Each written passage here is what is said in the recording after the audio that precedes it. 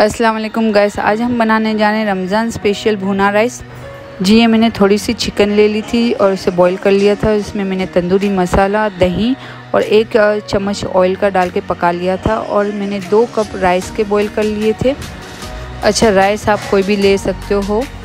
आप बासमती राइस हो तो बासमती राइस ले सकते हो या रेगुलर जो भी आपके पास राइस हो वो ले सकते हो। जिसमें मैंने शिमला मिर्च एक छोटी सी कटी हुई ले लिए और हरी प्याज ले लिया है मैंने।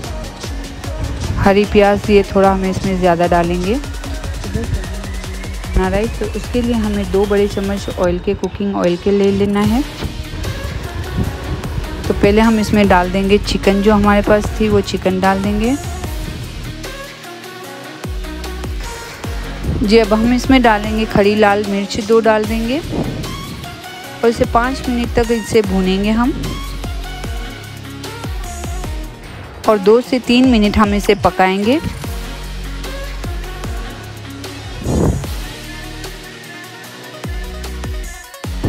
दो से तीन मिनट हमें इसे पकाना है, भूनना है।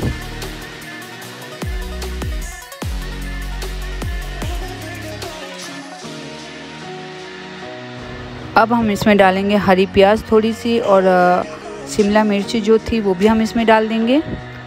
और फिर इसे पकाएँगे, चलाएँगे दो से तीन मिनट।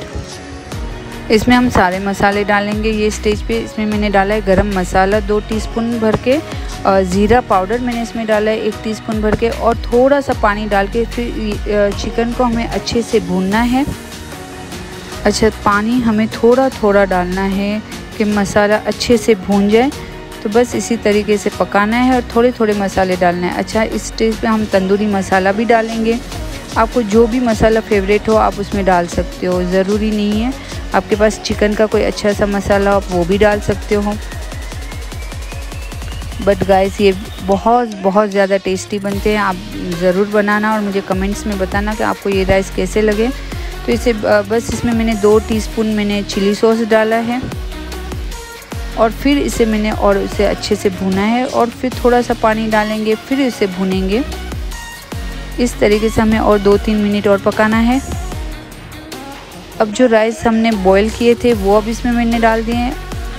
राइस को मैंने 90 परसेंट बॉयल किया था। अब इसे हमें राइस को ज़्यादा से ज़्यादा भूनना है।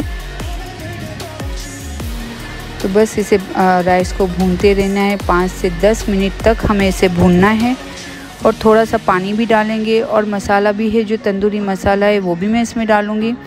तो बस गैस ये बहुत ज़्यादा टेस्टी बनते हैं। बस इसमें गरम मसाला थोड़ा ज़्यादा जाता है और बस इसे भूनना है। आपके पास कोई भी राइस बचे हुए हो या चिकन अपने पास जो भी बची हुई हो तो आप ये राइस आराम से बना सकते हो और बहुत ज़्यादा टेस्टी भी बनती हैं और बहुत फटाफट से ये राइस बन जाते हैं और इसका टेस्ट भी बहुत ही बच्चों को, बड़ों को, सबको बहुत ज़्यादा पसंद आते हैं।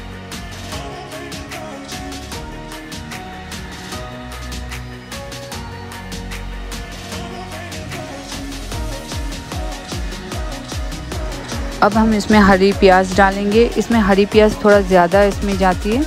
और अगर आपको डालना हो तो और भी आप कुछ भी वेजिटेबल डाल सकते हैं, बट इसमें चिकन और जो हरी प्याज है वो ज़्यादा क्वांटिटी में जाता है और उसका टेस्ट भी ज़्यादा आता है, ठीक है?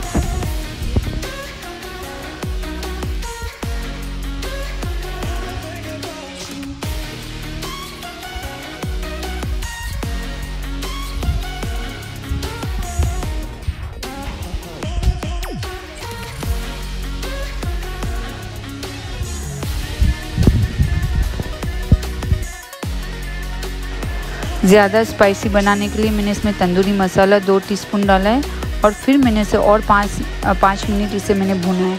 तो ये राइस राइस ऑलमोस्ट रेडी हो चुके हैं। आप लाजमी मुझे कमेंट्स में बताइएगा कि आपको ये राइस कैसे लगे। इन मैं आऊँगी नेक्स्ट वीडियो के साथ। तब तक के लिए अल्लाह हाफिज़।